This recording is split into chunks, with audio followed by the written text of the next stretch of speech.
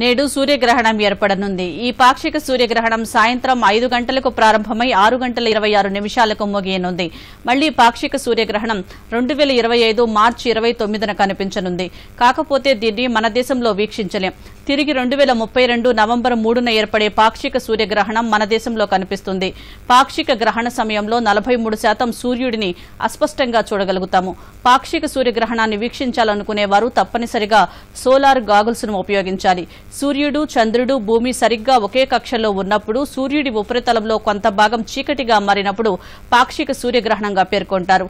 పాక్షిక సూర్యగ్రహణంలో ఆరంభం గరిష్టం ముగింపు అని మూడు భాగాలు ఉంటాయి. ఆరంభంలో చంద్రుడు సూర్యుడు డిస్క్లోకి ప్రవేశిస్తాడు. ఆ తర్వాత సూర్యుడిలో అధిక భాగాన్ని కప్పేస్తాడు ఆ తర్వాత క్రమంగా పక్కకు జరుగుతాడు. సూర్యగ్రహణం నేపథ్యంలో రాష్ట్రంలోని ప్రముఖ ఆలయాలను మూసివేశారు.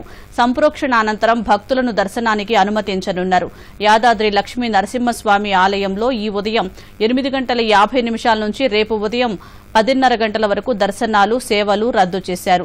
నిత్య శాశ్వత కళ్యాణం శాశ్వత బ్రహ్మోత్సవంతో పాటు రేపు స్వాతి నక్షత్రం సందర్భంగా నిర్వహించే పట్టాభిషేకం సహస్ర నామార్చనను అధికారులు రద్దు చేశారు. రేపు ఉదయం సంప్రోక్షణ నిర్వహించిన తర్వాత ఉదయం పదిన్నర గంటలకు గుడిని తెరవనున్నారు. అనంతరం నిత్య కైంకర్యాలు భక్తుల దర్శనం కొనసాగనుంది. సూర్యగ్రహణం కారణంగా తిరుమల ఆలయాన్ని మూసివేశారు. సాయంత్రం ఆరున్నర గంటలకు గుడి తలుపులు తెరిచి ఆలయ శుద్ది నిర్వహిస్తారు. రాత్రి ఎనిమిది గంటల నుంచి భక్తులను సర్వదర్శనానికి అనుమతిస్తారు.